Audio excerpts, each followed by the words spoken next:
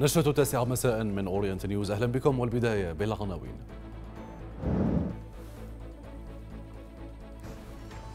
بريطانيا تعلن فرض حزمة عقوبات جديدة على ستة مسؤولين في حكومة أسد من بينهم فيصل مقداد ولونا الشبل.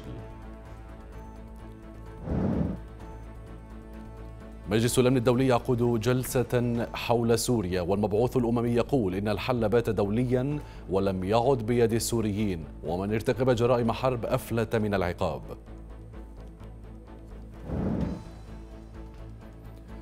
الرئيس التركي يقدم ثلاثة سيناريوهات لإنهاء الحرب في سوريا.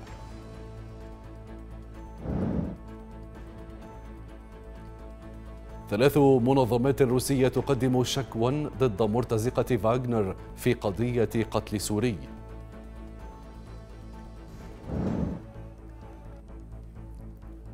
مظاهرة في الذكرى العاشرة للثورة تعم الشمال السوري.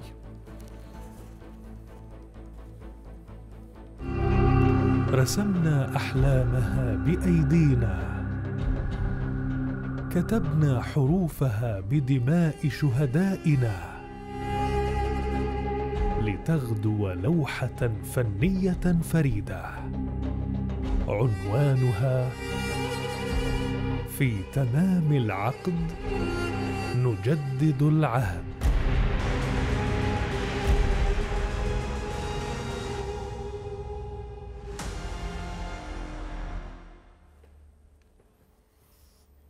أعلنت بريطانيا فرض عقوبات جديدة على ستة أفراد جدد في نظام أسد من بينهم وزير خارجيته فيصل المقداد ومستشارته لونا الشبل. وأفاد وزير الخارجية البريطاني دومينيك راب أن العقوبات على أفراد نظام أسد الجدد جاءت لدورهم في القمع المنهجي الشامل على المواطنين السوريين الذين يفترض عليهم حمايتهم. على حد تعبيره. وأضاف أن نظام أسد عرض أو عرض الشعب السوري لعقد من الوحشية لأنه تجرأ وطالب بالإصلاح السلمي. معنا مباشرة عبر الهاتف من لندن الدكتور ممتاز سليمان المختص بالقانون الدولي. مرحبا بك معنا دكتور ممتاز. دعني أسألك بداية عن تعليقك على هذه السلسلة و المواقف من آه، الحكومة البريطانية بفرض عقوبات بدأت بأسماء الأسد وبدأت تطال مسؤولين كبار في آه، نظام أسد.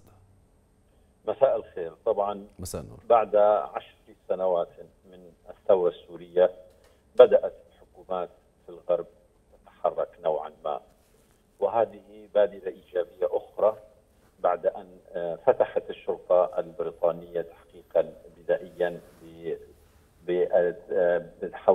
حول اسماء أسماء الأسد وزوجة بشار الأسد ودورها في جرائم الحرب، اليوم يقوم وزير الخارجية بالإعلان أن الحكومة البريطانية قد فرضت حزمة من العقوبات على المقربين من نظام بشار الأسد وزير الخارجية والمستشاره الخاصة به وهناك بعض رجال الأعمال وأيضا هناك اثنان من جنرالات الجيش. طبعا هذه خطوة إيجابية أخرى نتمنى تكون هناك من الدول الأخرى أيضا خطوات إيجابية بهذا الاتجاه وأن تكون هناك فعلا آه، إرادة دولية لمحاكمة هذا النظام على الجرائم التي قام بها بحق الشعب السوري، طبعا هناك أنوه بأن هذا أول آه، أول شيء تفعله بريطانيا بعد خروجها من الاتحاد الأوروبي بمفردها فرض عقوبات على هؤلاء من المقربين من نظام بشار الأسد. طيب دعني أسألك دكتور ممتاز في نعم. القانون البريطاني ماذا تعني فرض عقوبات على شخصيات آه، آه، معينة؟ يعني هو في القانون الدولي ليس فقط في القانون البريطاني لأن بريطانيا من المجموعة الدولية. عادة عندما يكون هناك عقوبات حسب العقوبة هل هي عقوبات اقتصادية؟ هل هي عقوبات سياسية؟ هي عقوبات دبلوماسية مثلا؟ هذه العقوبات تفرض حسب نصوص القانون الدولي. مثلا الآن وزارة الخارجية فرضت حزمه من العقوبات. اهمها هي عقوبات اقتصادية. طبعا هذه الشخصيات منعها من السفر. مثلا إذا كانت دخلت إلى الأراضي البريطانية سوف يتم اعتقالهم وسوف يتم التحقيق معهم. هذا أول شيء. إذا دخلوا إلى الأراضي البريطانية. نحن لا نقول إنه قد تم وضعهم على لائحة الانتربول الدولي. لا ليس بعد. لكن عندما يكون هناك إشارة على عقوبات هناك يليها أيضا إشارة إلى فتح تحقيقات وإشارة إلى أنهم سوف يكونون في لائحة المطلوبين المحاكمات الدولية. لنسأل عن الوقت أيضا دكتور ممتاز لماذا الآن تحركت بريطانيا في أي في أي سياق دولي تأتي تحركات آه، المملكة المتحدة؟ المملكة المتحدة تحركت على ما أظن على ما أظن أن هناك تفاهمات دولية حصلت. لا يعني لا نعرف بين من ومن بس لكن أنا حسب اعتقادي واستنتاجي مما يحصل هناك تفاهمات دولية حول آه هذا الموضوع حول الموضوع السوري. حول إيجاد حل. سنوات. حول إيجاد حل للملف السوري. إيجاد حل إيجاد حل للملف السوري ولكن آه أي حل نحن لا نعلم. الشعب السوري لا يعلم من هو. الحل الآن هو حل دولي طبعا أنا تحدثت أكثر من مرة. هو الحل بيد الدول. إذا تفاهمت الدول سيكون هناك حل. إن لم تتفاهم هذه الدول التي هي موجودة على أرض سوريا لن يكون هناك حل حتى لو بعد عشر سنوات. أنا أشكرك جزيل الشكر على مشاركتك معنا دكتور ممتاز سليمان المختص بالقانون الدولي. كنت معنا مباشرة عبر الهاتف من العاصمة البريطانية لندن. من جهة أخرى عقد عقد مجلس الأمن الدولي عبر تقنية الفيديو جلسة حول الأزمة السورية. قال فيها المبعوث الأممي إلى سوريا جير بيدرسون. قال إن الصراع بات دوليا ومعظم قضايا حله ليست بيد, بيد السوريين. وأضاف بيدرسون أن من ارتكب جرائم حرب أفلت من العقاب. متهما المجتمع الدولي بالفشل في تخليص السوريين من الحرب.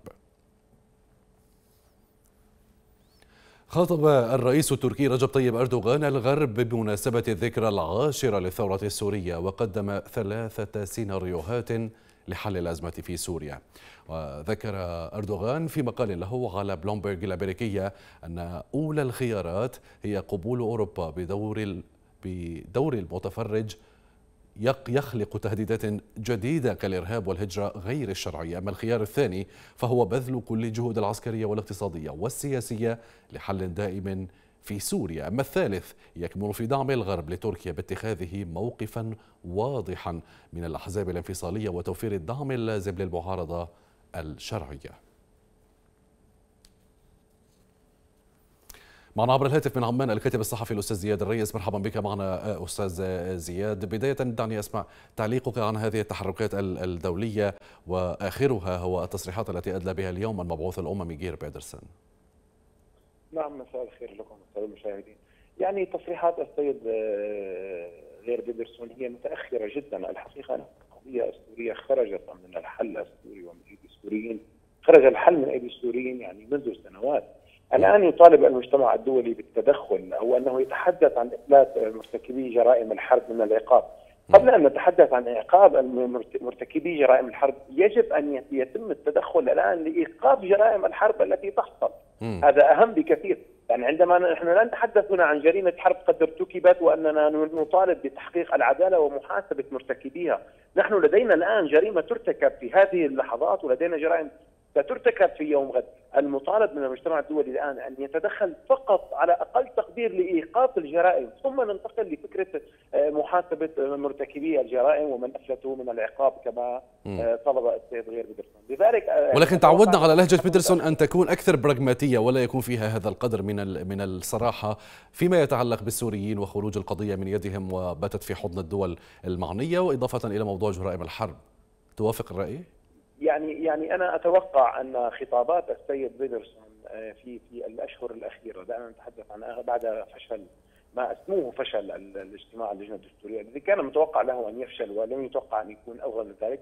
أتوقع ان خطابه خطاب شخص آه، سياسي دبلوماسي يتوجه إلى تقديم الاستقالة، يعني هذا ما أستطيع أن أقوله، وعندما يتحدث المبعوث آه، أممي بهذه الطريقة وبهذه الحدة عادة ما تكون هذه أيامه الأخيرة وينوي أن يقدم استقالته أو أنه أبلغ أنه سينهى عمله. وأنه ليس لي لم يفشل بالمهمة وإنما تقاعس المجتمع الدولي نعم. عن تماما. هو أراد يعني هو يريد الآن الآن هو اكتشف كل ذلك. يعني أتوقع عندما يأتي آه، شخص مبعوث أممي لقضية أو لملف دولي ويتم استلام هذا الملف. لديه آلاف المستشارين والأشخاص الذين يشرحون له ما ما حصل سابقا من عرقلة وما حصل هناك وما حصل هناك. يعني هو يتحدث وكأنه هو المبعوث الأول وهو الوحيد الذي خرج بهذه النظرية وبهذا. هذا شيء معروف لم يأتي بجديد. يعني مطالبة المجتمع الدولي ان المجتمع الدولي مقصر. نعم هذا ندركه تماما. كنا نتمنى أن يأتي السيد غير بيدرسون من بداية توليه هذه المهمة بهذا الخطاب. كان الأجدر به أن يتحدث بهذا الخطاب من اليوم الأول الذي تقدم فيه واعتمد أنه هو مبعوث القضية السورية لصالح الأمين العام لمجلس الأمم المتحدة. كأن ربما سيغير شيء. أما الآن هذه لغة الوداع كما هي العادة لكي يقول أنه أفشل في مهمته رغم أنه أضاع كل وقته بين إيران طهران ودمشق وموسكو واجتماعات آه، لا وزن ولا قيمة لها وهو يعرف تماما أن الموضوع كان عبارة عن تسويف. على آه، آه، موقع بلومبيرغ. آه، الأمريكي كتب الرئيس التركي رجب طيب أردوغان مقال قدم فيه سيناريوهات للحل في سوريا، ما رأيك بها؟ هل هي فعلا واقعية؟ يعني الحلول التي التي قدمها السيد أردوغان هي حلول تركية وهي تناسب تركيا حصرا لا تناسب أي مواطن سوري، م. يعني أن أن يهدد الاتحاد الأوروبي بمزيد من اللاجئين في حال كان استمر بالوقوف. هذا هذا الخطاب عهدناه. أن يقال أنه أن توفر يوفر الدعم وموقف خاص من الدول الغربية لتركيا. يعني هذا يعني تحقيق أهداف تركيا في كل شيء في قضيتها الداخلية مع الأحزاب الكردية في قضيتها مع اليونان في دول الجوار في قضيتها في في في ليبيا في البحر المتوسط مع مصر.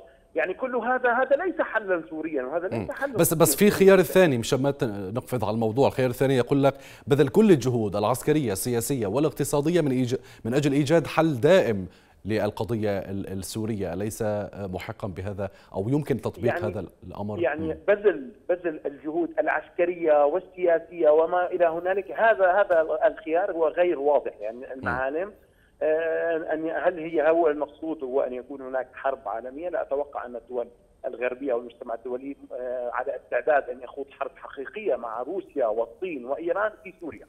يعني هذا أتوقع أن يكون أفضل الحلول للسوريين الآن هو أن تتدخل الدول بشكل فاعل لإسقاط النظام وان آه، يكون هناك سلطة آه، يعني تمتلك جزء من الشرعية في سوريا. م. هذا مقبول يعني. بمعنى أنه حل يعني كلامه فيه فيه شيء من العمومية والكلام الفضفاض ويحتاج إلى مزيد من التفاصيل. على كل الأحوال شكرا جزيلا لك ولمشاركتك معنا الاستاذ زياد الريس الكاتب الصحفي. كنت معنا مباشرة عبر الهاتف من عمان. أعلنت ثلاث منظمات غير حكومية أنها قدمت شكوى في روسيا ضد مرتزقة فاغنر الروسية للأمن الخاص. في قضية قتل سوري عام 2017 بوحشية كبيرة. آملة في تسليط الانتباه على هذه المجموعة التي تقيم علاقات مشبوهة مع الكرملين. وقالت المنظمات الثلاث وهي المركز السوري للإعلام وحرية التعبير والفيدرالية الدولية لحقوق الإنسان وجمعية ميموريال الروسية قالوا في بيان بأن هذه المرة الأولى التي تقام فيها خطوة من هذا القبيل من جانب أقرباء ضحية ضحية سوري ضد مشتبه به روسي أو مشتبه بهم روس. يحيي السوريون في الداخل السوري وفي دول اللجوء الذكرى العاشرة لانطلاق الثورة السورية. وشهدت ساحة المحراب وسط مدينة إدلب مظاهرة مركزية شارك فيها الآلاف من السوريين الذين توافدوا من مختلف مناطق الشمال السوري. يا لا لا لا يا لا لا لا ويا لا لا يا لا لا لا ويا لا لا والثورة عنا رسالة يا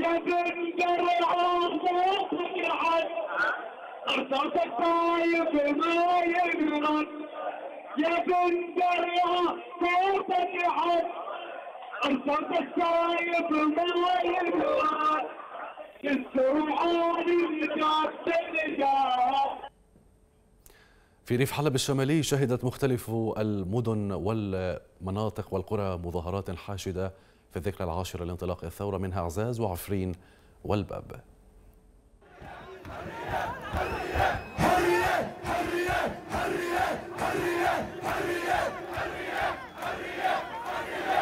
بشار مالك منا عنا ويلا ارحل يا بشار يلا ارحل يا بشار ارحل يا بشار يلا ارحل يا بشار يا بشار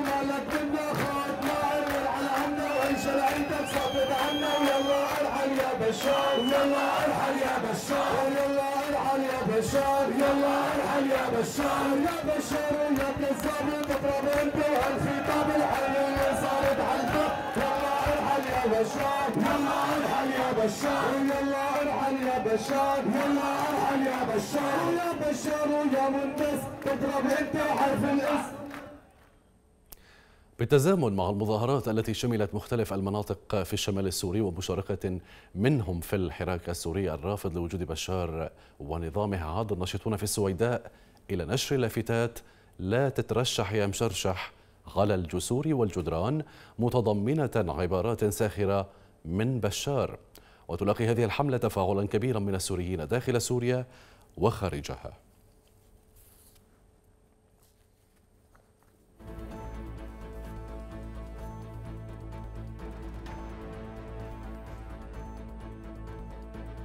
وصلوا وإياكم لختام هذه النشرة. شكرا جزيلا على طيب المتابعة وإلى اللقاء.